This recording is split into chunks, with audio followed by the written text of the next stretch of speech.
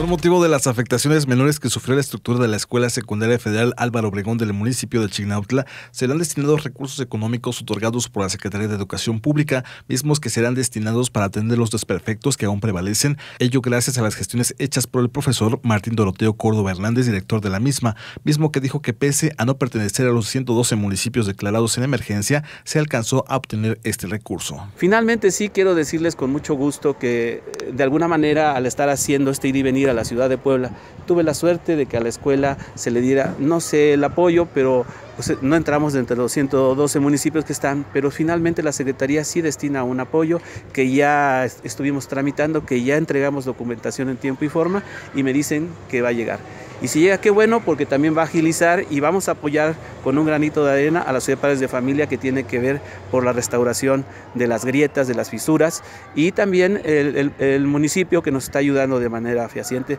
diciéndonos de antemano que el recurso hasta la fecha, como fue un imprevisto, no existe, pero que está metiendo mano. Entonces me da gusto porque ya vamos a tener el recurso para agilizar a que nuestra escuela siga siendo todavía más segura. Cabe destacar que la ESFAO será la única escuela de esta región que estará recibiendo este recurso económico gracias al interés y buena participación del directivo, desconociendo hasta el momento el monto que podría ser otorgado, mismo que se le ha entregado a la mesa directiva de esta escuela para que en lo sucesivo den inicio con obras y acciones de beneficio para los estudiantes. Efectivamente, este, me comentaban, desconozco si las otras escuelas, yo cuando estuve ahí en asignación de estos recursos no vi a nadie de la zona,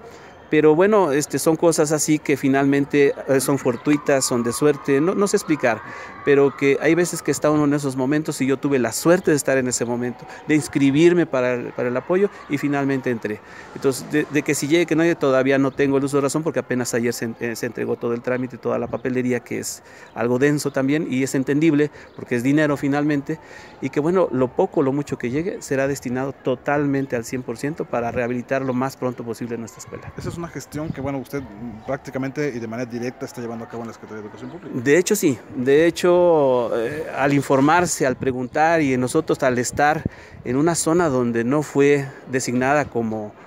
como problemática, insisto, 112 municipios, nuestra escuela en Chignautla no existe, esos 112 municipios, sí se preocupa uno porque estuvo cerrada, y estuvo cerrada más de un mes, entonces eso nos da pie a que nos preocupemos, a que preguntemos qué procede, se complicó todo en estadística, en calificación, en todo,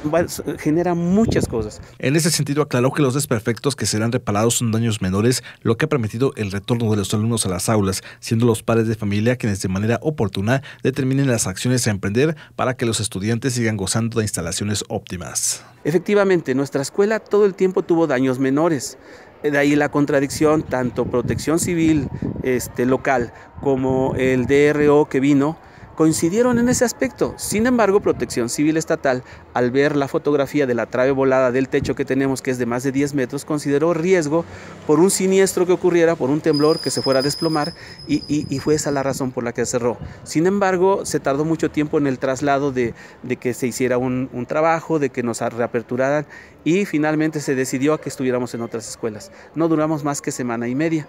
Entonces, porque se vino también lo de lo de las, festejo de, los muertos y que también la misma secretaría dijo que se respetaran esas tradiciones más en estas zonas que son muy muy muy tradicionales. Incluso comentarles que ni siquiera trabajaron en el municipio porque tuvieron sus días también que no les pudieron quitar a los trabajadores ya que festejan mucho mucho mucho a sus muertos. Con imágenes de Juan Pablo Asensio para Informativo 9, Guillermo Mundo Aguilar.